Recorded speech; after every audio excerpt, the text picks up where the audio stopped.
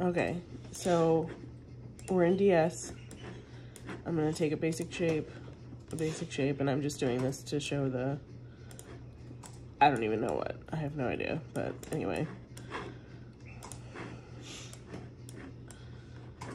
All right, so this is the file that I want, is this thing. So in this top corner here, if you hit in between the two zeros, it goes blank, right? Make sure you click off of this so you don't have the dimensions on here. So I clicked off. So I have a MacBook, so what I do is I do a capture or a screenshot for those with a regular laptop or a Microsoft, you know, laptop essentially. You do a snippet tool, which is essentially the same thing.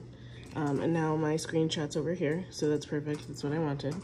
So now I'm gonna go into Inkscape, and I'm gonna pull this up, so I'm gonna go back and zoom in.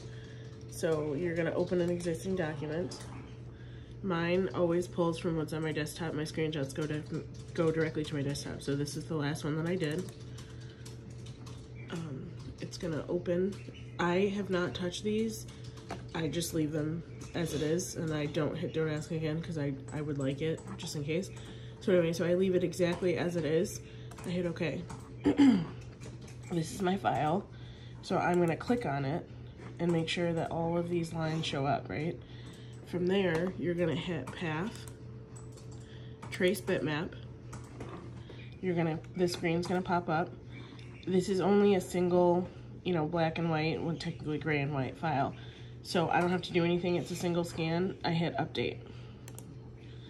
And this is what it looks like. Now in here, it's gonna look a little wonky and it's gonna look like, I don't even know what the term is, but it just looks all like gross almost. and that's totally okay because it still comes out very clean. If you have multiple scans, um, from what I've understood, you basically, the eight scans is the number of colors.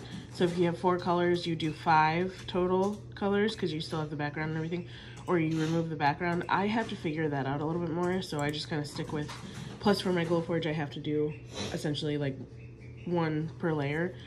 Um, and if that, if I can figure out how to do it, then I'll change that. But anyway, so I hit update, I hit apply. Now from here, I'm gonna take the, or unclick this, the toggle snapping, I'm gonna toggle it off. I'm also gonna toggle this, the ungroup selected, and toggle that. Now I can close this. I'm gonna move this over.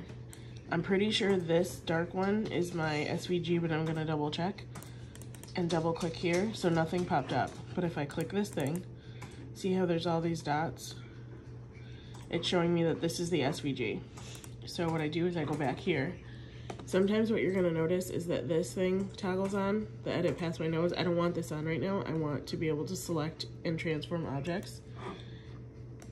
So I'm gonna select that and I hit delete. Just plain and simple delete and it's gone.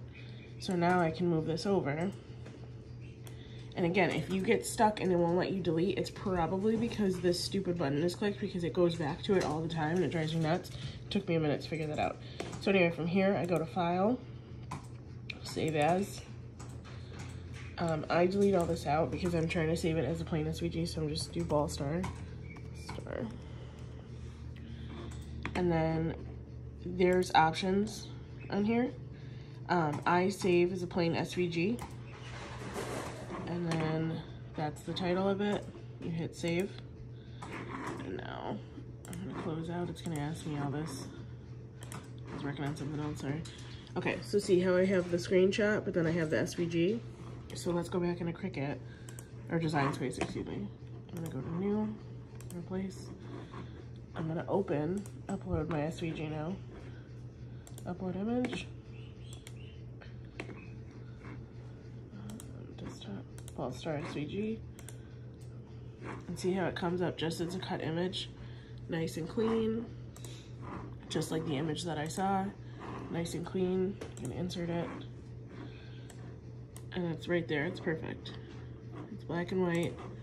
It's very clean cut, not like what it showed in the preview. So, and that is how you create an SVG.